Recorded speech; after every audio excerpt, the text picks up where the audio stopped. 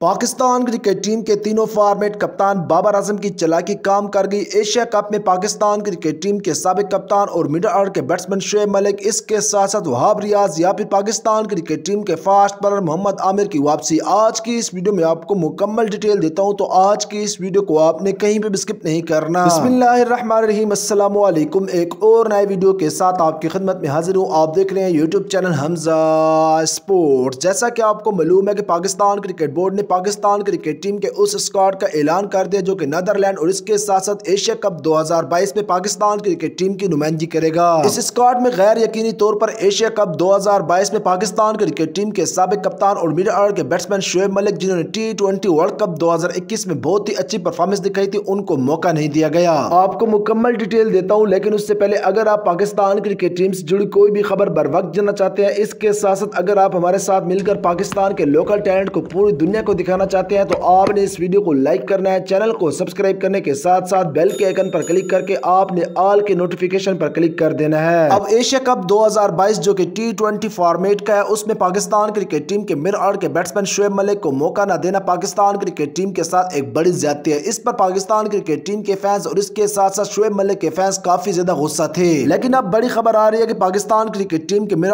के बैट्समैन शुएब मलिक इसके साथ साथ मोहम्मद आमिर या फिर वहाब रियाज की एशिया कप 2022 में वापसी होने वाली है। जैसा कि आपको मैंने पिछली वीडियो में आगाह किया था कि पाकिस्तान क्रिकेट टीम का जो स्क्वाड एशिया कप 2022 के लिए अनाउंस किया गया, उससे पाकिस्तान क्रिकेट टीम के तीनों फॉर्मेट कप्तान बाबर आज़म खुश नहीं है। बाबर आज़म ने कहा कि इसमें कोई भी एक सीनियर फास्ट बॉलर मौजूद नहीं है। इसके साथ साथ बाबर आज़म ने पाकिस्तान क्रिकेट बोर्ड को आगाह किया कि मुझे हर हाल में शुएब मलिक चाहिए। लेकिन अब बड़ी खुशखबरी से आपको आगाह कर रहे हैं कि पाकिस्तान क्रिकेट बोर्ड ने पाकिस्तानी कप्तान बाबर आज़म के साथ रब्ता किया और बाबर आज़म से कहा कि अगर नदरलैंड के खिलाफ पाकिस्तान क्रिकेट टीम का मिडल ऑर्डर परफॉर्म नहीं करता तो इसको एशिया कप 2022 के लिए तब्दील कर देंगे। जराये के मुताबिक पाकिस्तान क्रिकेट बोर्ड ने पाकिस्तानी कप्तान बाबर आज़म से यह भी कहा कि अगर पाकिस्तान क्रिकेट टीम के जूनियर फास्ट बॉलर जिनमें नसीम शाह, इसके साथ साथ पाकिस्तान क्रिकेट टीम के फास्ट बॉलर हारिस रूफ अगर परफॉर्म नहीं करते तो फिर वहाब रियाज या फिर मोहम्मद आमिर की पाकिस्तान क्रिकेट टीम में वापसी करवाई जाएगी। अब यहाँ पर आपने मुझे कमेंट करके ये बताना है कि एशिया कप 2022 के लिए पाकिस्तान क्रिकेट टीम के लिए कौन सा खिलाड़ी ज़्यादा ज़रूरी है? शुएब मलिक या फिर मोहम्मद आमिर या फिर वहाब रियाज, आपने इनमें से एक खिलाड़ी का नाम हमें कमेंट बार में ज़रूर बताना है। मैं आप सबके कमेंट का इंतज़ार करूँगा।